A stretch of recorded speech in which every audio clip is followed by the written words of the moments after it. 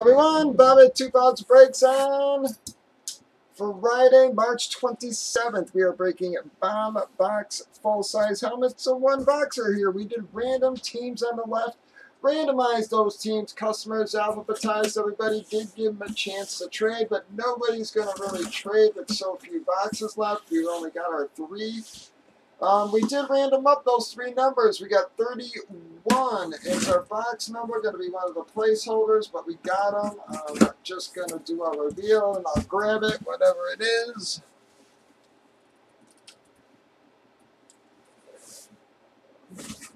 Bam! Well, that's going to be the Dallas amp slot, or the regular Dallas slot, I should say, guys. Not the amp slot. That's going to be the regular Dallas slot. And the Deion Sanders amp helmet. Let me just grab that real quick.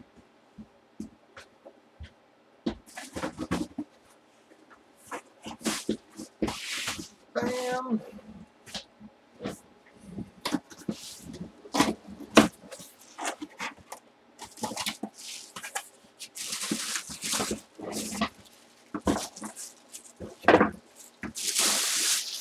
Alright, bam! Guys, I actually like this one a little better. The other ones here, Polly had signed in the back, and I didn't really like that too much. I do like it more in the front there.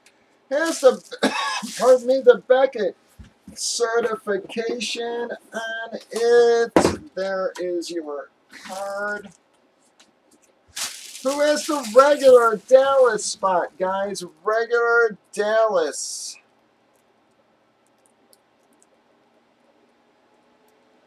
Wow, Jesus, Seacon, man. Wow, man, Seacon had a very rough last couple of series. Didn't hit shit in this one either until a couple nights ago. And like I said, man, Seacon went in a friggin' little bit of a roll here. Congrats to Seacon. I feel a little better, Seacon. Not feeling so damn guilty anymore. There you go, bud. That's going to wrap up that one boxer, folks. The Dallas Amp Deion Sanders. Let me get that placeholder out. Stick that in the box. Alright, guys. Keeps are 14, folks. Keeps for you guys are still 14 if you want to keep. Not sure if we'll get a vote tonight, guys, but you would be on the board at the discounted price there.